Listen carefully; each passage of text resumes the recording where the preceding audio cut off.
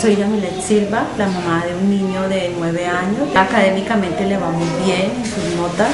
Me toca ser un poco estricta, yo diría que demasiado con los videojuegos porque quiere estar jugando.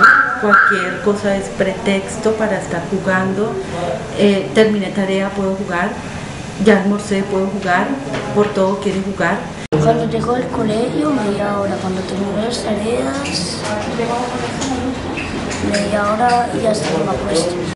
Yo de eso poco o nada entiendo, me parece muy divertido. He tratado de entender los juegos como para, para poder hablar en el mismo lenguaje.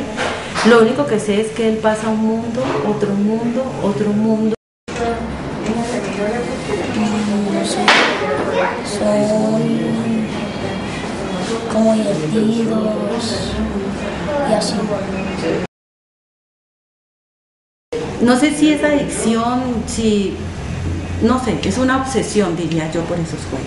Y como es un reto cada vez pasar un mundo y llegar a un mundo, entonces fulanito está en tal mundo, fulanito va en tal mundo, yo tengo que superarlo, eh, salen juegos nuevos cada nada. Porque mi mamá siempre dice, primero son las tareas. Ya iba a pasar este mundo, es que este mundo no había llegado, es que tú siempre me acabas, me, me apagas el juego cuando ya voy a pasar a otro mundo. De pronto la lógica, eh, de- desarrollan alguna parte, de- digo yo, del cerebro eh, que los hace de pronto más hábiles, pero, pero ellos son encasillados, ellos solos en su mundo, no, no interactúan, no, no comparten. Un Nintendo DS y un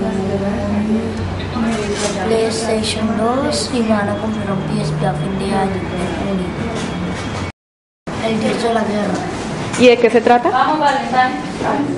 de un, como un hombre que mata a muchas personas. Mareado, confundido.